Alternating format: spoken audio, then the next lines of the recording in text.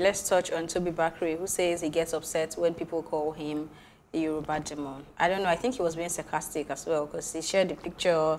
I was like, but when he looked at the picture, then maybe. But I want, I want what I wanted to bring in is the is the verb because I'll say it's a verb now. It's It like an action. It's, like it- it's not. It's, it's, not a track thing anymore. You've suffered. um. So this the way Yoruba you guys demon thing- objectify us. It's not objectifying. Now we're we're actually making your movement global. Like Oh, really?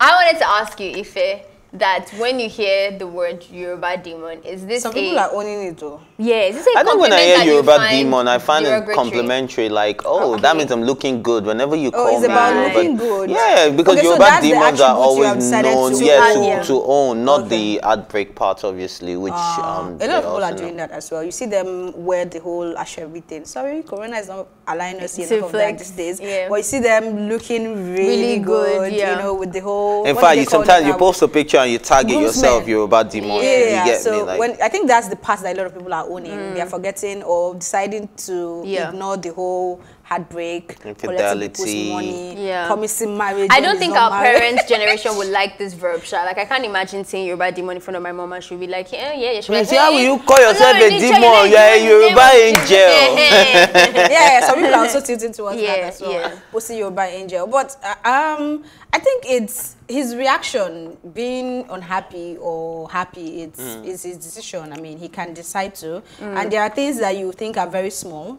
but when you say it to somebody else, it triggers them And that's based why- on experience as That's well. why I was going to ask you, Fair, because I know that there are, there are comments that, No, uh, I- that women what- receive that I think are generally acceptable, but I still find them very condescending Yeah. and I don't appreciate. But I don't, I'm not a man and I'm not, I don't really, no one has called me Yoruba demon, so I don't know how it sits for other people. I'm guessing from your No, response, you, no. you can claim to, Whatever yeah, like, aspect like the. N word, you can claim how you want to use it, but if I just look at it from like a shallow perspective, I don't think I want to be calling anyone like a Yoruba demon. I'm not you have really friends sure. you call Yoruba I think I think first of all, Yoruba is already too restrictive. Like there's a lot of people who package and who whatever verb associated to that that you can give other names. But I'm, I know it's from Lagos and Europe. That's why Lagos. it's now a global movement. Yes, yes.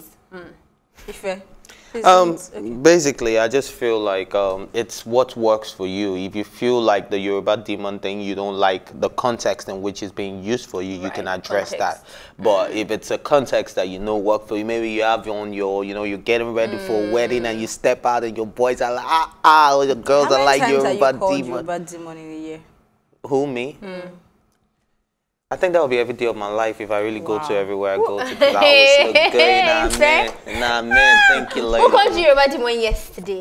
Who called me? Let's start with yesterday. Because he said every day of No, I'm saying life. I'm saying if I go to the places where I should be called a Yoruba demon, like Places the that places they that, I'm appreciate really your- appreciated. places that yeah. you look at me. Yeah, so- So we don't appreciate like, your this the- image, like, like the the places where. I'm I'm a trending topic, hot topic. Ah. You know what I mean? Right, right here. Nah, let's let's let's forget that.